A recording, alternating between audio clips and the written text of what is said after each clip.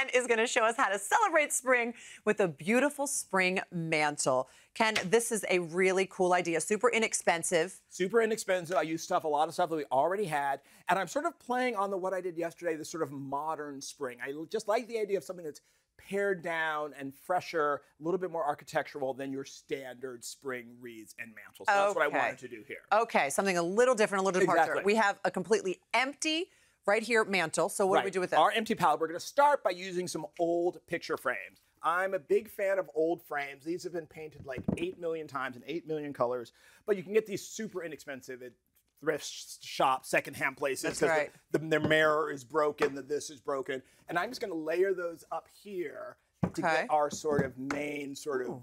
focal I point. love that. Right, that now you spray cool. painted them white to match our cabinets. Looks great up against the gray and gives us a nice framework to start with. And you could leave it like that, and it's it's very it's kind of cool by itself, yeah, right? Boom. But, but why? When you have so many other things that we're going to do here, especially this little bunny. If that doesn't say spring, how cute this is, is Rose Bunny. This is Rose Pet Bunny. His name is Munchie. This is a real bunny? Yes, that, it's a real bunny. That's yeah. one of our home yeah. and family. This is our oh home and family bunny.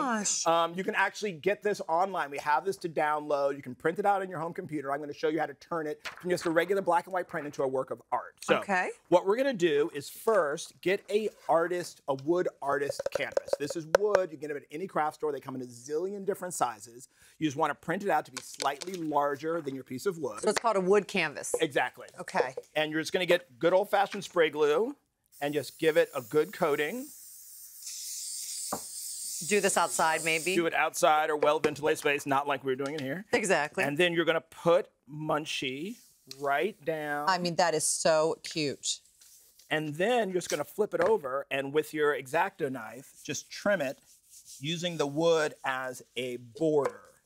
And what that's going to do, because these wood canvases have that nice sort of wood edge, it sort of all of a sudden becomes this nice Look at work that. of art so easily and looks so professional, but you've got that nice little wood, which I think really makes it look kind of like, oh, is that from an art gallery? Fancy. No, I printed that out from Home and Family. Just look at how easy that is. So easy. Now for here, because um, this is so big, I wanted to do it in an extra large size. So Deb, if you want to pass me the bunny right oh. behind oh. you there. Oh my goodness. Exactly. Same thing. If you want wow. this size, you don't have that printer at home, you can actually do it in two 11 by 14s. You won't notice the seam. You don't have to send it out. And I'm just going to layer him like right there. And I love, again, we're working with that sort of architectural square shapes, again, threes, oh. but that bunny just adds a sort of humor and modern art aspect. And so, even if you did want to uh, send it out to print it, you could go to a FedEx center and could, that right. would cost probably, probably $10. Right, exactly, yeah. exactly. So now we're going to start with some other stuff on the other side. So if you want to pass me the candlesticks, I'm adding in some wood pieces here. What I've done,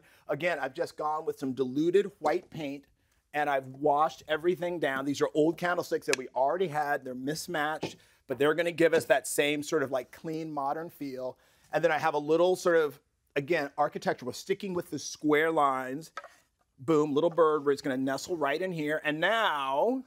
How cute is that? What do we need for spring? Flowers. Flowers. Spring so has sprung. I love friend. paper whites. Um, why don't you pass me the paper whites first? I'm going to okay. talk about these in a second. All right. Um, and these, I say, like, if you can get fresh ones, they make the house smell absolutely amazing. But if you can't, they also make these in silks, and they're actually one of the sort of nicer silk things that you can get. And I'm going to pop it in here. You know, if you oh, don't, if you can't find a little greenhouse, you can also do a little birdhouse here. It's just the idea of having something kind of architectural to sort of again build with that feel. Oh. And that now, what I always do this time of year, we have some blooming trees in our yard. I wait to prune them until they bloom, and then I bring them inside. That's and they will last about five, six weeks. If you don't want to do that, you can buy silks or just get a branch from outside. So pretty. Get some inexpensive flowers and a little hot glue, and you can make your own if you don't have live ones in. And I'm going to top that right there. That just, just to give a, us some height. Literally made the fireplace Boom. and the mantel come alive. And we had to buy nothing. We bought the wooden frame, and that is it. Easy breezy, modern, clean. Beautiful. Swap out the bunny later for something. Swap out the flowers as you go through the season. Ken, you've done it again.